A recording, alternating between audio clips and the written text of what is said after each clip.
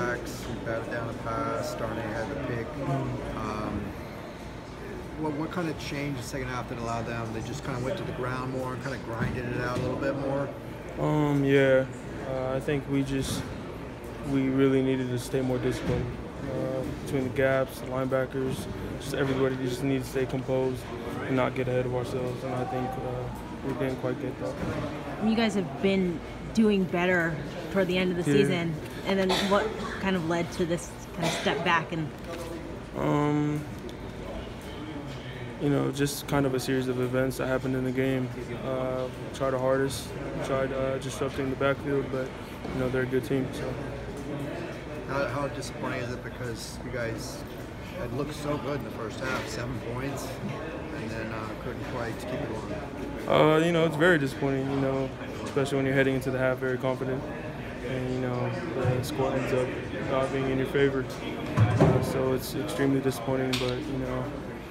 Um, just proud of the way the guys fought. And, you know, it's gonna be sad when I leave. So, but I just hope for the best with the young, the young guys that are gonna step up next year. What about that goal line stand? You guys so close there.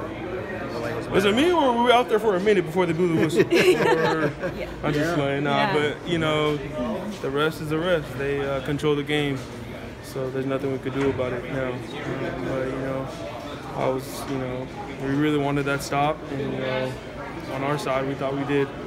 But you know, it's just the rest said otherwise. How do you feel about the future of the program now? Obviously, a lot of changes, a lot of new guys coming in, staff-wise, and everything else. Feel very confident. Uh, you know, kind of the guys that you know came under Mora. You know, they're going to start adjusting to you know, Chip Kelly. You know, I know they're all going to start adjusting well, and they're all prepared to, you know, follow in the lead of uh, Chip Kelly. And I'm excited for the future for UCLA. um, all year long. Obviously, so much focus on stopping the run. Can you talk about kind of the frustration to see in the last game of the season them put all those runs up, uh, all, the, all those uh, rushing yards up?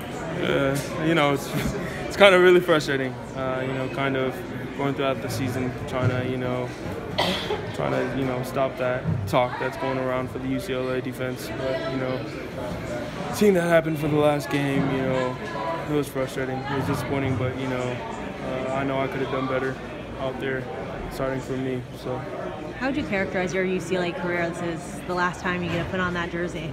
say that again. So, How would you characterize your UCLA career? This is the last time you get to put on that jersey you're holding there.